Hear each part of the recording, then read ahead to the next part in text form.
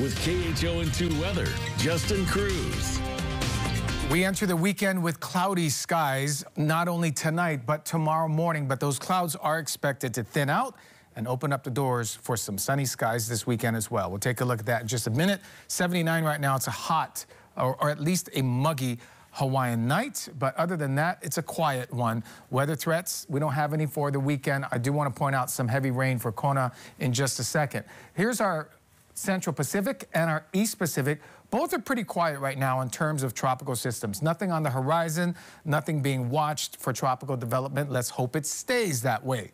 Now, high clouds are fanning through the islands, and they have been pretty much all day long. It is expected to clear out tomorrow, but it still may be cloudy tomorrow morning. These high cirrus clouds are not rain. In fact, we're seeing very little in showers tonight. Most areas are very, very dry.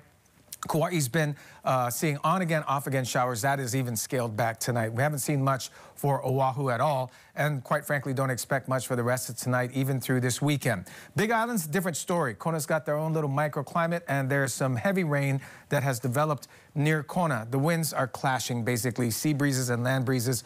Uh, eventually, what usually happens is the land breezes are stronger, and it will push this rain back out to the open ocean. But for right now, it is a wet Friday night for portions of the Kona coast, including Kona town. Surf for the islands tomorrow. We've got the biggest surf up north. We've got 5 to 7 up there, 2 to 4 for the south. East shores at 1 to 3, and west side at 3 to 5. There are no marine advisories, so the ocean conditions and weather conditions this weekend are going to be just about perfect. A few more clouds on Saturday. Sunday, we get solid sunshine. Both days have about a 10% chance of showers. Monday, though, might be a little cloudy and wet to start the work week with a 40% chance of showers with sunshine the rest of next week.